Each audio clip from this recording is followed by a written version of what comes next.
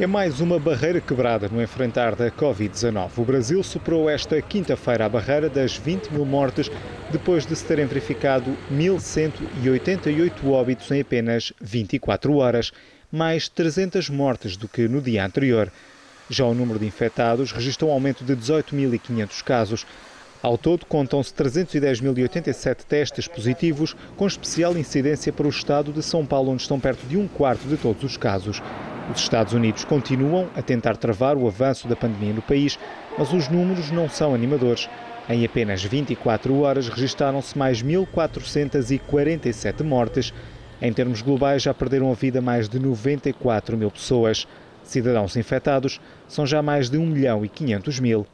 Em homenagem a todos os que não resistiram à Covid-19, Donald Trump decidiu colocar a meia haste as bandeiras de todos os edifícios federais e monumentos nacionais durante três dias. O anúncio foi feito através do Twitter.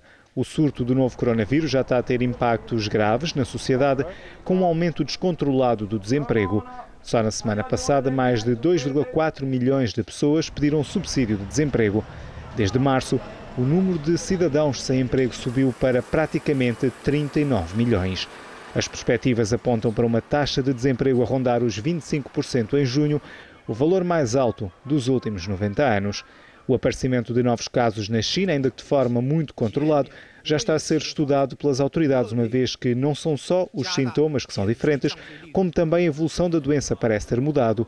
Segundo a comunidade médica, o período de incubação é mais longo e os pacientes levam mais tempo a recuperar. Ainda assim, a força do vírus parece ter diminuído. Apenas 10% foram casos críticos que necessitaram de acompanhamento hospitalar.